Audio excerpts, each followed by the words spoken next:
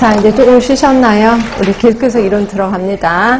자, 32쪽에 이제 건강신념 모형. 그 다음에 뒤로 가시면 건강증진 모형. 얘는 워낙 같이 배우시는 게 좋고 워낙 유명합니다. 특히 건강신념 모형 같은 경우 시험 문제 좀 많이 나오니까 신경 써주셔야 돼. HBM 모형. 자, HBM 모형은 누가 만들었다고 했더라?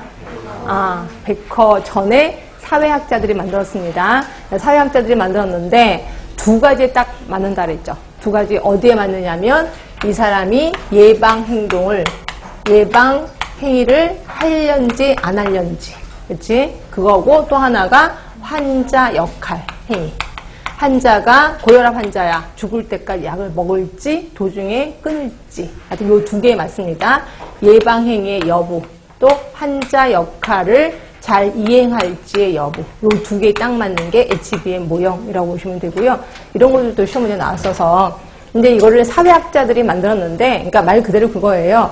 고혈압 예방 프로그램이 있어. 요거대로만 하면 고혈압이 예방되거든요. 근데 어떤 사람들은 되게 적극적으로 참여하고 어떤 사람은 참여를 안 하더라 이거죠. 그래서 어떤 사람들이 참여해? 어떤 사람은 왜 참여 안 하지? 이거에 대해서 고민하다가 만든 게 HBM 모형이고요.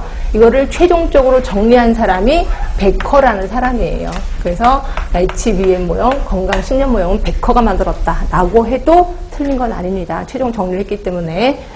자, 그러면 이 HBM 모형은 제가 어떻게 나눈다고 했냐면 왼쪽, 가운데, 오른쪽. 그래서 크게 세 가지 구분이 된다라고 얘기를 했고요. 자, 왼쪽에는 뭐가 있냐면 지각된 심각성, 지각된 민감성이 있어요. 자, 지각된 민감성이라는 건 뭐냐면 그 병에 걸릴 것 같아. 왜? 우리 집안이 고혈압 집안이거든. 그럼 나도 걸릴 것 같아. 라고 민감하다는 거죠. 민감성. 그리고 고혈압을 치료하지 않으면 세상에 뇌졸중까지 가. 뇌졸중 가면은 한쪽은 못 쓰니까 굉장히 비참하게 살아. 결국 심각성까지 내가 알고 있어요. 그러면 내가 민감성, 심각성이 높다고 하더라도 병원에 갈 것 같아? 안 갈 것 같아요? 안 가요. 왜? 아니, 젊으니까. 안 간다는 거죠. 그럼 병원을 가게끔 하는 게 뭐냐면 요 가운데, 가운데. 그래서 가운데 요인을 매개 요인이라고 하는 거예요. 매개 요인. 그럼 가운데가 되게 중요하겠구나. 예, 가운데가 되게 중요해요. 그래서 시험 문제 엄청 많이 나오는 게 가운데. 뭐가 있을까요? 행동의 계기가 있어요. 그렇죠? 어떤 행동의 계기 때문에 가게 된다는 거죠. 그럼 행동의 계기가 뭐가 있는데요? 여러 가지가 있겠지 뭐. 내 친구가 똑같은 고혈압 집안인데 혈압 때문에 죽었어. 그럼 난 끔찍하잖아요. 그렇죠? 또는 어, 내가 여태까지 증상이 없었다가 높은 산에 올라갔는데 갑자기 뒷목이 뻑적지근한 거예요. 그리고 막 토했어. 어, 이게 뭐지? 내가 뭘 먹어서 이렇게, 이렇게 머리가 아프고 토하지? 그때 옆에 있는 친구가, 야, 너 뒷목 뻑적지근하면서 토하는 거 고혈압 아니야? 오, 진짜? 결국 내가 증상을 좀 느껴. 그러면 이게 어, 무서우니까 내려가서 그냥 병원에 가야 되겠다는 생각을 한다는 거죠. 결국 내가 느끼는 증상이나 또는 내 친구들 또는 어, 뭐 매스, 매스컴에서 떠들어. 그러면 나도 또 놀랄 수도 있는 거고 또 이런 경우도 있습니다.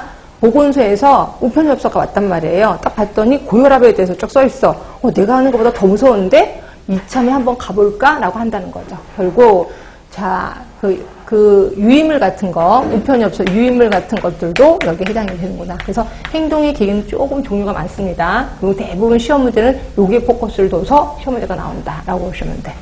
자, 이렇게 해서 행동의 계기가 돼서 드디어 병원에 갑니다. 병원에 가는데 여기 또 매달린 거. 지각된 유익성.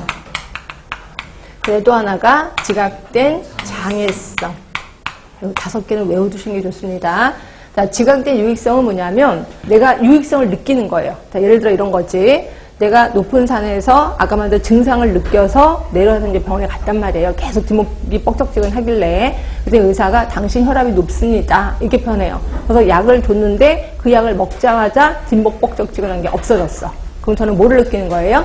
유익성을 느껴요. 이런 사람은 죽을 때까지 약을 먹습니다. 자, 그런데 뒷목 뻑적지근한 거는 그대로 있으면서 약을 먹었더니 물 먹은 솜처럼 쭉 늘어지기만 하고 살 의욕도 없고 우울증까지 걸리는 거야. 그럼 나는 뭐를 느껴요? 장애성을 느끼는 거죠. 이런 사람은 약을 안 먹는다라고 보시면 될 것 같아요. 그래서 이 다섯 개가 나와 있는 게 HBM 모형이라고 보시면 될 것 같고 자, 하나만 물어보겠습니다. 내가 그 행위를 하려고 할 때 얘네 다섯 개가 높아야 되는지 낮아야 되는지 이걸 좀 얘기해 주세요. 자, 지각된 심각성? 높을수록. 민감성? 높을수록. 행동의 계기는 많을수록. 그리고 지각된 유익성? 높을수록. 장애성은 낮을수록 그 행위를 한다라고 보시면 돼요. 그렇죠? 자 그러면 보건소에서 대부분 이제 암 같은 거 관리할 때 특히 Pap smear 같은 거 뭔지는 아실 거예요. 자궁 경부암 그거 그 검사하기 위해서 Pap smear를 하는데 Pap smear를 할 때 가격을 돈을 조금이라도 받는 게 좋을까요? 아니면 공짜로 하는 게 좋을까요? 요거에 의한다면 공짜로 하는 게 좋아. 왜? 조금이라도 돈을 받으면 이걸 장애라고 느끼거든요. 그래서 아예 무료로 한다라고 보시면 됩니다. 그래서 이런 식의 문제도 나올 수 있으니까 좀 신경 써 주셔야 돼. 자, 그 다음에 요 이론에 숟가락 하나 더 얹은 걸 HPM 모형이라고 합니다. HPM 모형은 뭐냐면 건강 증진 모형이라고 하는 거고요. 이거는 누가 만들었다고요? 팬더라는 사람이 만들었어요. 팬더. 자, 지금은 무슨 시대라 그랬어요? 건강 증진 시대잖아. 그래서 요 이론이 나올 수밖에 없겠구나라고 보시는데 그렇게 자주 나오지는 않더라고요. 자, HPM 모형은 말 그대로 건강 증진하는 사람의 여부를, 그러니까 어떤 사람은 예를 들어서 사, 뚱뚱한데도 불구하고 어떤 사람은 미친 듯이 운동해. 어떤 사람은 되게 살이 있는데도 불구하고 운동을 잘 안 해. 어떤 사람이 이렇게 건강 증진 행위를 하느냐. 어떤 사람이 안 하느냐. 이거를 예측하는데 딱 맞는 게 HBM 모형, HPM 모형이라고 보시면 돼요. 근데 이것도 얘랑 똑같습니다. 왼쪽, 가운데, 오른쪽으로 나뉠 수가 있어요. 자, 왼쪽은 솔직히 볼 거 없습니다. 그래서 저는 이거 안 하고 넘어갈 거고요. 이 가운데는 무지 중요해서 아예 제목까지도 달았습니다. 자, 제목을 뭐라고 달았을까요? 행위와 관련된 인지와 감정이라고 제목까지 달았어요.